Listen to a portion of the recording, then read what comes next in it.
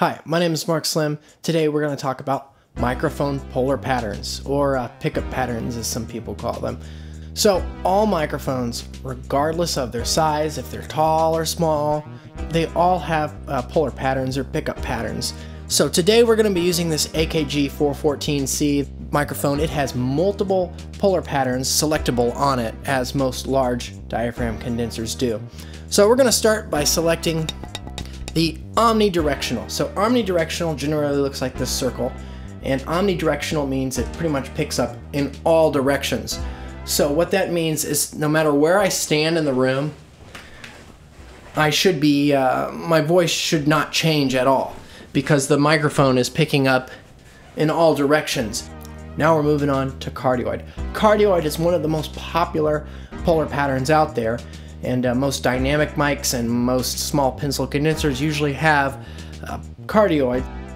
The thing about a cardioid pattern is that it now kind of divides the microphone almost in half, if you will. So what happens is there's a side that is picking up, which is called the on-axis side, and that's picking up most of the uh, the information or the sound pressure, whatever, however you believe a microphone works. And then the back side of the microphone is rejecting or not picking up sounds from it. So just watch. Remember how I walked around? And as I start to get off axis, you'll start to hear a change. And as I get to the other side of the uh, microphone, you'll hear that my voice is totally different. All right, this is part two. One thing that's very important to know about the cardioid pattern is it suffers uh, from this thing called proximity effect.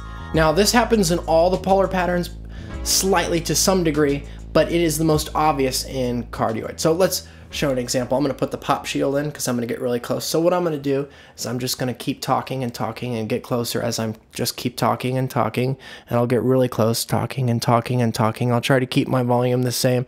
You need to take this into consideration when doing especially vocals because if you're trying to go with a like cool radio voice, you know, this would be an advantage. But if you're trying to sing and you don't want a big boomy voice. The next one is the figure of eight. Long.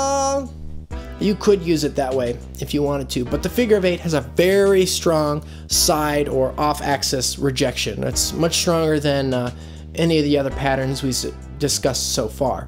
Another thing to take into consideration is it has the worst bass response out of all the polar patterns there are and um, you could use that to negate the proximity effect pretty well. So let's review really quick. We got the omnidirectional, which um, covers all directions, obviously. We got the cardioid, pretty common, and we know about its um, rejection sides and how to use it usefully. And then we got the figure of eight.